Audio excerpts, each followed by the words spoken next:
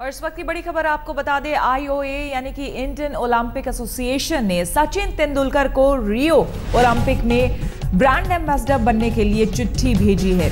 आग्रह किया है सचिन तेंदुलकर से कि वो ब्रांड एम्बेसडर बने। इंडियन ओलंपिक एसोसिएशन की तरफ़ से ये चिट्ठी भेजी गई है रियो ओलंपिक जो कि शुरू होने वाला है।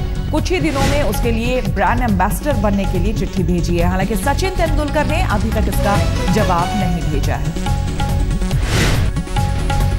हमारे वरिष्ठ सहयोगी बोरिया मजुमदार हमारे साथ जुड़ गए हैं। बोरिया, आपसे जानेंगे इस बारे में और क्या कुछ जानकारी मिल पा रही है, क्योंकि अभी तक बताया जा रहा है कि सचिन ने चिट्ठी का जवाब नहीं भेजा है।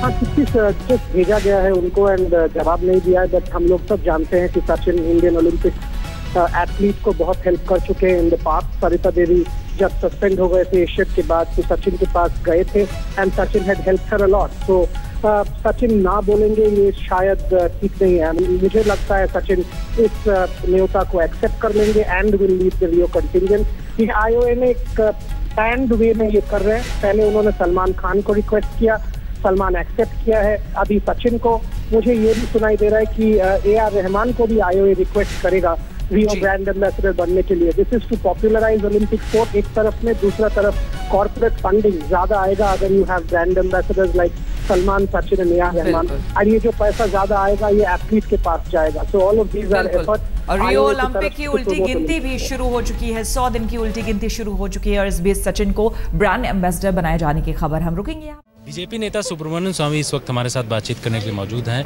अब अगस्टा वेस्टलैंड लोग को लेकर के आप किस तरीके से आगे बढ़ेंगे पार्लियामेंट के अंदर?